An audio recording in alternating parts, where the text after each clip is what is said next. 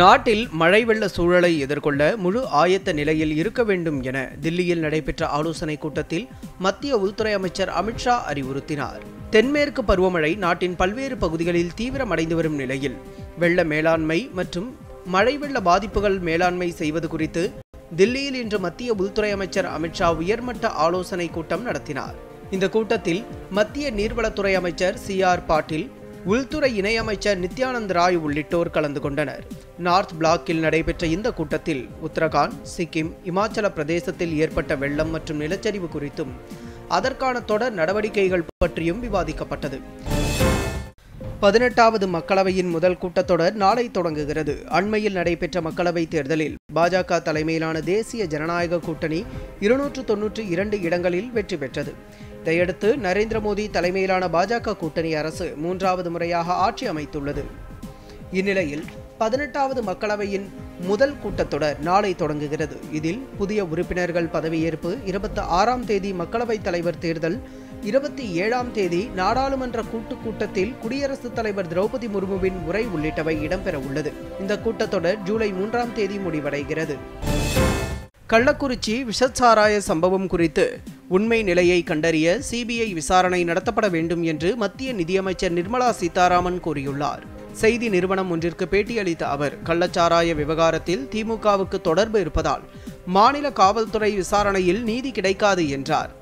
தமிழகத்தில் பூரண மதுவிலக்கை அகற்றிவிட்டு மதுபான விற்பனையை தொடங்கியது திமுக ஆட்சியில்தான் என்று கூறிய அவர். இப்போதும் டாஸ்மாக் மூலம் மதுபான விற்பனை நடைபெற்று வரும் நிலையில் கள்ளக்குறிச்சியில் தாராளமாக விற்பனையான பாக்கெட் சாராயத்தை வாங்கி குடித்தவர்கள் ஐம்பத்து ஆறு பேர் உயிரிழந்துள்ளனர் என்றும் குறிப்பிட்டார். இறந்தவர்களில் பெரும்பாலானோர் தலித் சமூகத்தை சேர்ந்தவர்கள் என்றும் தலித்துகளுக்காக குரல் கொடுத்து வருவதாக கூறிக்கொள்ளும் காங்கிரஸ் மூத்த தலைவர் ராகுல் காந்தி இப்போது எந்தவிதமான அறிக்கையும் கருத்தும் வெளியிடாமல் இருப்பது ஏன் என்றும் அமைச்சர் நிர்மலா சீதாராமன் கேள்வி எழுப்பினார்.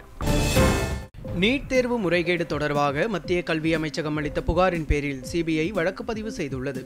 இந்த ஆண்டு தேசிய தேர்வு முகமை நீட் தேர்வை கடந்த மே மாதம் ஐந்தாம் தேதி நாடு முழுவதும் நான்காயிரத்து எழுநூற்று ஐம்பது மையங்களில் நடத்தியது.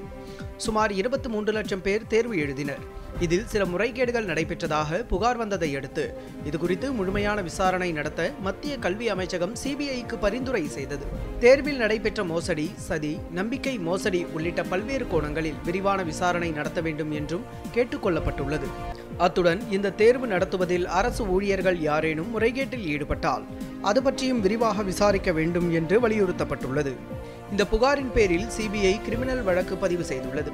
வழக்கை விரைவாகவும் தெளிவாகவும் விசாரிப்பதற்கான நடவடிக்கைகளை தொடங்கியுள்ள சிபிஐ இதற்காக தனி குழுக்களையும் அமைத்துள்ளது. குழந்தை உணவு வறுமையால் தெற்காசிய நாடுகள் மற்றும் துணை சஹாரா ஆப்பிரிக்க பிராந்தியங்கள் அதிகம் பாதிக்கப்பட்டிருப்பதாக கண்டறியப்பட்டுள்ளது. சர்வதேச அளவில் பதினெட்டு கோடியே பத்து லட்சம் குழந்தைகளுக்கு ஊட்டச்சத்து போதாமையால் அவர்களது உயரம் உடல் உள்ளிட்ட ஒட்டுமொத்த வளர்ச்சி பாதிக்கப்பட்டுள்ளது. இந்த பதினெட்டு கோடியே பத்து லட்சம் பாதிக்கப்பட்ட குழந்தைகளில் அறுபத்தி ஐந்து சதவீதத்தினர் இந்தியா இனியா ஆப்கானிஸ்தான் புர்கினா பாசோ எத்தியோப்பியா உள்ளிட்ட இருபது நாடுகளைச் சேர்ந்தவர்கள். தெற்காசிய நாடுகளில் மட்டும் ஆறு கோடியே நாற்பது லட்சம் குழந்தைகள் ஊட்டச்சத்து மிக்க உணவு இன்றி வாடிக்கொண்டிருக்கின்றனர் அந்த பட்டியலில் சோமாலியா நாடு முதலிடத்தில் உள்ளது. கொரோனா பெருந்தொற்றுக்கு பிந்தைய காலத்தில் பொருளாதார சிக்கல்களில் இருந்து ஓரளவு மீண்டாலும் உணவு பண்டங்கள் உட்பட அனைத்து விதமான பொருட்களின் விலைவாசியும் அதிகரித்திருப்பதே அவல நிலைக்கான காரணம் என்று இந்த அறிக்கையில் சுட்டிக்காட்டப்பட்டுள்ளது. இஸ்ரேலில் புதிய தேர்தல் நடத்த வலியுறுத்தியும் காசாவில் பிடித்து வைக்கப்பட்டுள்ள பிணை கைதிகளை விடுவிக்க வேண்டும் என்பதை வலியுறுத்தியும். ஆயிரக்கணக்கானோர் திரண்டு அந்நாட்டு அரசுக்கு எதிராக போராடி வருகின்றனர்.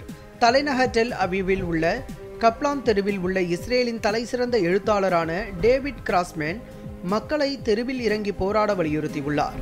இது குறித்து பாடல் ஒன்றையும் அவர் எழுதியுள்ளார். இஸ்ரேலிய வரலாற்றில் மிக மோசமான படுதோல்வியடைந்த பிரதமராக பெஞ்சமின் நெத்தன்யாகு இருப்பதாக அந்நாட்டின் உள்நாட்டு உளவு அமைப்பான ஷின்பெட்டின் முன்னாள் தலைவரான யுவல் டிஸ்கின் சாடியுள்ளார். இதனால் தேர்தல் நடத்த வேண்டியது தற்போதைய அவசியம் என்றும் அவர் வலியுறுத்தியுள்ளார்.